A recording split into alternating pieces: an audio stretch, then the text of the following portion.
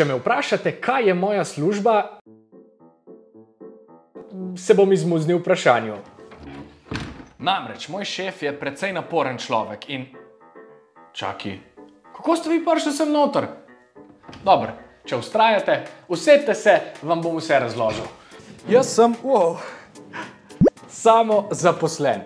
To pomeni, da sem sam svoj šef. V bistvu vodim podjetje samega sebe. Malo sem svoj računovodja, včasih sem sam svoj organizator, včasih sem sam sebi težak, večino časa pa ustvarjalec. In to je pravzaprav moj poklic. Vedno iščem načine, kako se lahko igram s svojo ustvarjalnostjo in se prosto izražam.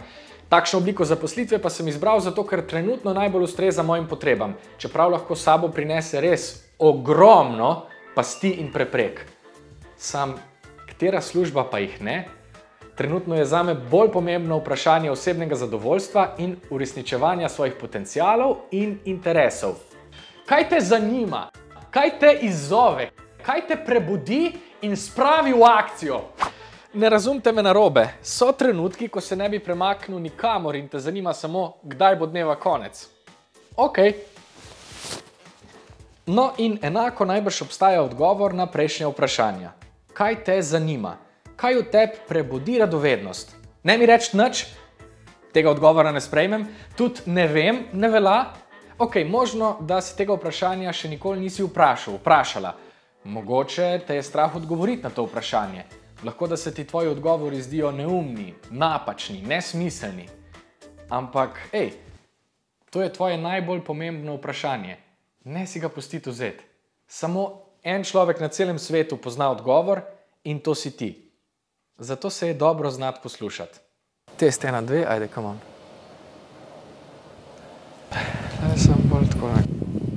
Moja prva poklicna odločitev so bili sprejemni izpiti na Akademiji za gledališče, radio, film in televizijo. To je šola, ki med drugim izobražuje tudi igralce. Ko jo končaš, postaneš dramski igralec. Simpel. Čeprav po mojem si zares igralec šele, ko stojiš na odru.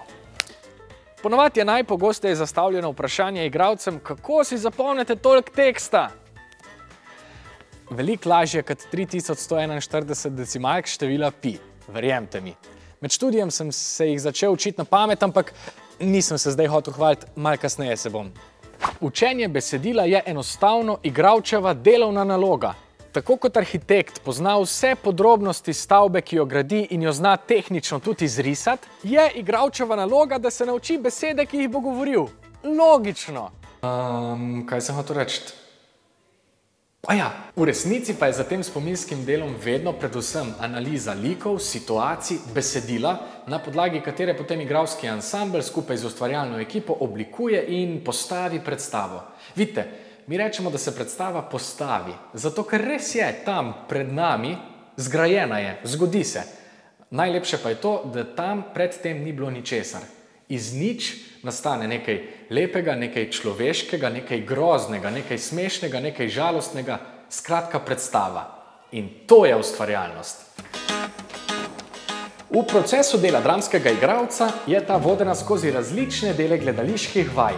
Začnemo z branji, za mizo. Potem pa s pogovori in improvizacijami počasi gradimo svet predstave in se prestavljamo do odra. Tudi tam pilimo in preobračamo material, se z njimi igramo, ugotavljamo, kaj bi bilo najbolje, potem pa tik pred premiero je predstava pripravljena za stik z gledalci. Igralski poklic je po mojem lep ravno zato, ker delamo z domišljijo. Iz te drobne, skoraj nevidne moke potem pečemo najrazličnejše no, predstave. Lahko bi rekel, da tudi na televiziji igram, čeprav samega sebe. Igram en del Nika Škrleca, ki ga potem gledalci upam, da prepoznajo kot voditelja malih sivih celic. Roko na srce bi bilo precej čudno, če bi bil vse čas takle. Drage gledalke, dragi gledalci, dobrodošli v vaši jutranji rutini. A si boste najprej A. umili zobe, B. umili obraz ali C. šli nazaj spat. Res rad spim, to ste zdaj verjetno že opazili. Ampak verjamem, da je počitek pač bolj pomemben od dela. Šele ko si vzamem čas, se lahko sprostim in res zadiham. Čeprav rad tudi ne diham.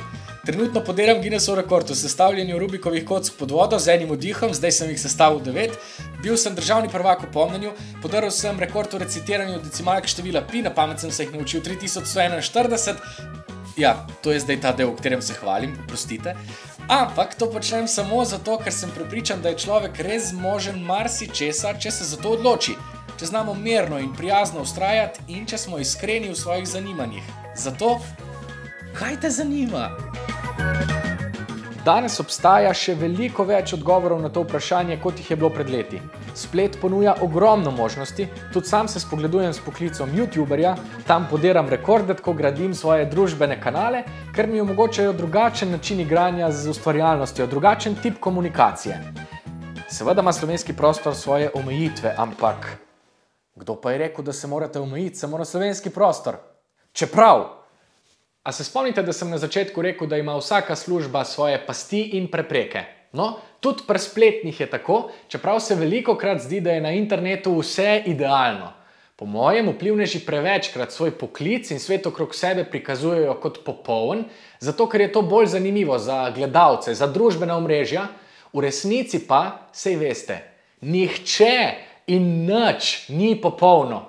Grajenje svoje spletne prisotnosti in preživljanje z njo je pravzaprav podjetniški podvig, ki ga je treba dobro premisliti in nikakor ni idealen. Ni absolutno idealnega poklica.